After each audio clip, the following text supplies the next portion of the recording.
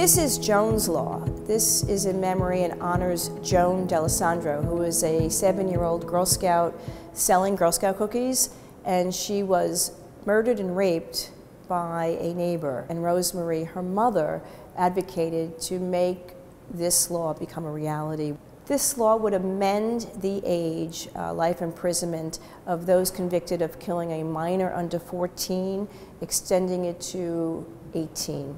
After all, a human life is a human life regardless of an age.